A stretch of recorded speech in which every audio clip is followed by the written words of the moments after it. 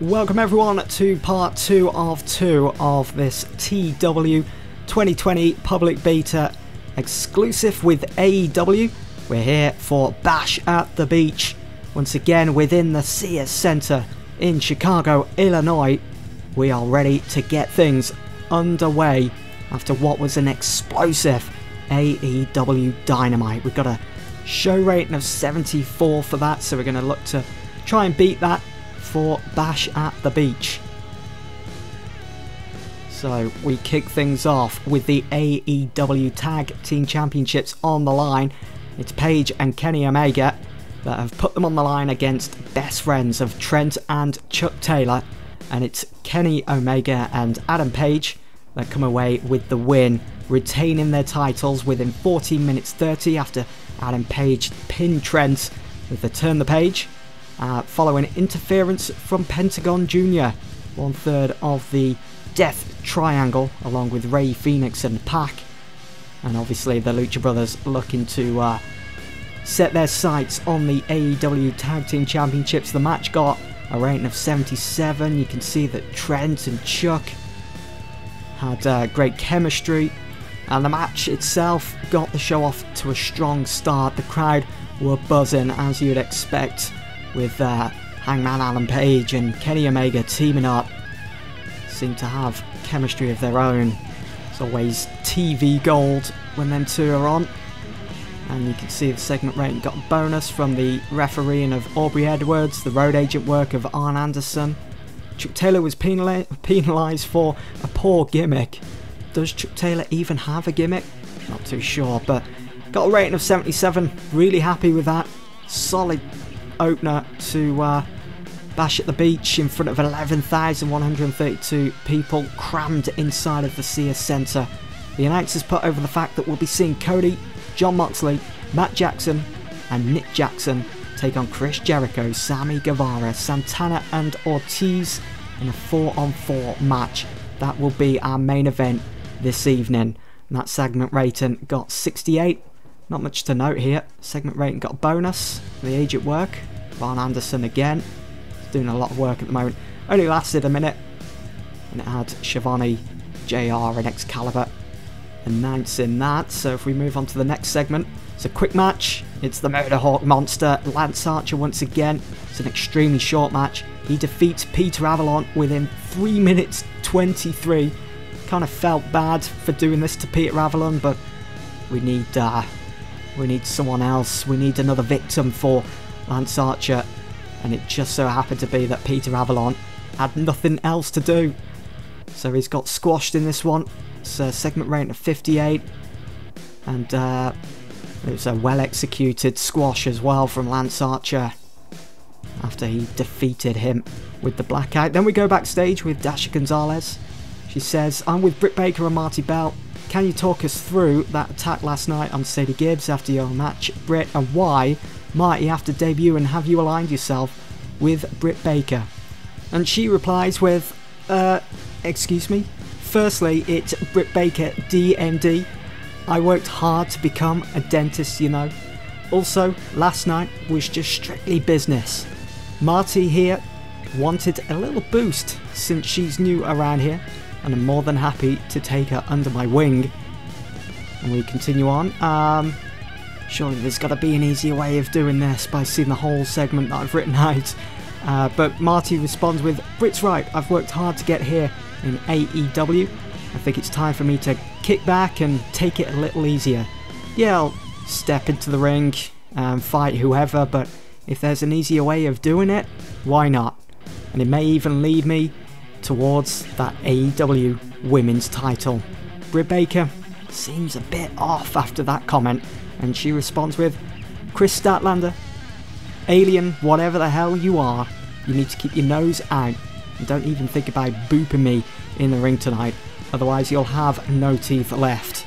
Do aliens even have teeth? And then they both walk away.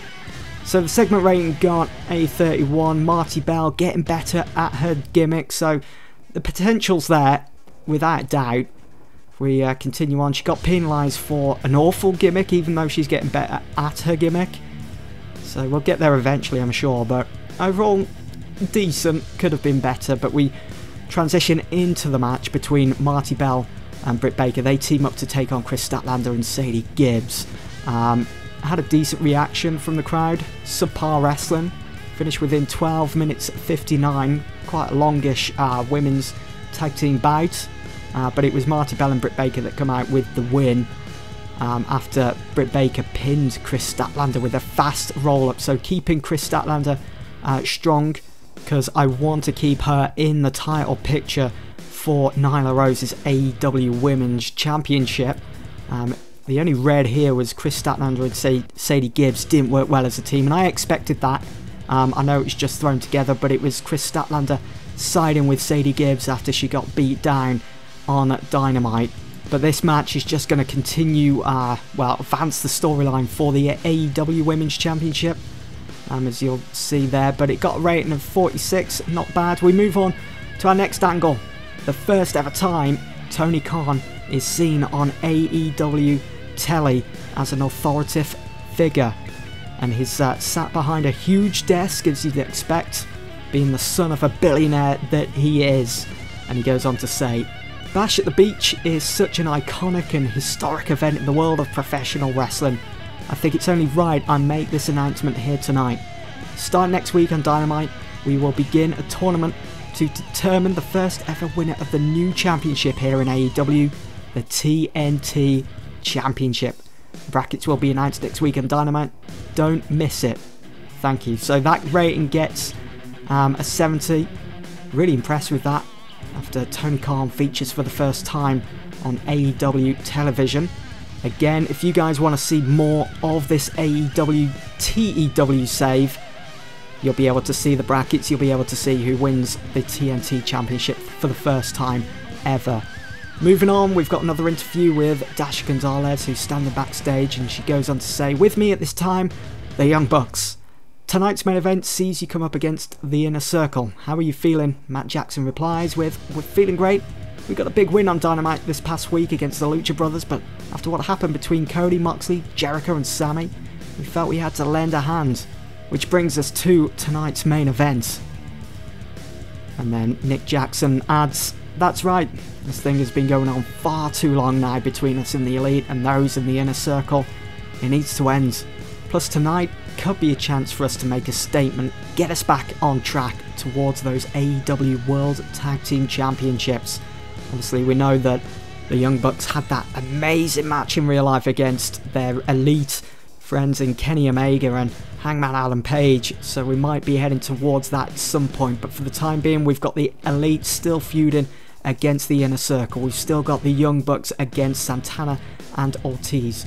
We move on to another segment from MJF, who stood outside his mansion by his pole, and he goes on to say, just a quick PSA and a warning to Shawn Spears. I'm still waiting. I'm putting Wardlow in action tonight to get him ready for when he pays Tully a visit, and then you'll be next. And that got a rating of 74. Again, really impressed with that. It's just a simple freestyle angle, but of course it is Maxwell Jacob Friedman after all, uh, who got bonus for being an amazing heel. The road agent was Arn Anderson, I'm sure shares uh, a few tips with cutting those decent promos. We move on to the next match then, which MJF set up, and it was between Wardlow and Joey Janela. And about that had great heat and good wrestling. Wardlow defeated Joey Janela within 10 minutes, 9 minutes 44 by pinfall with a splash mountain power bomb. This was just a, a cool the crowd, calm the crowd down type of match getting them ready for uh, the main event. And here is the dirt sheet. It got bonus Wardlow for being well suited to the style of match. It was, well, not so much a squash squash match as we've seen with Lance Archer over these uh, two episodes. You can see the match prestige very low, but that would. I mean, he got a bonus for squash master attribute, but I'm sure in real life Joey Janela would have put up a bit more of a fight than maybe the likes of Peter Avalon or or Marko Stunt. We move on to the next segment then. It's uh, Dasha backstage once more. She says, With me at this time, the inner circle. Gentlemen, tonight's main event sees you all up against. Jericho cuts in. That stupid idiot, Jon Moxley. Who stole my AEW World title. Also, dipshit Cody, who I beat back at full gear, so he can no longer fight for the AEW title. And the Young Bucks? The not so Young Bucks. Have you seen how old they are now? Tonight, Dash and me, my inner circle, as Le Sex Gods, will end the elite. It's that simple. We're done here. The inner circle walk away with Jake Hager staring down the camera.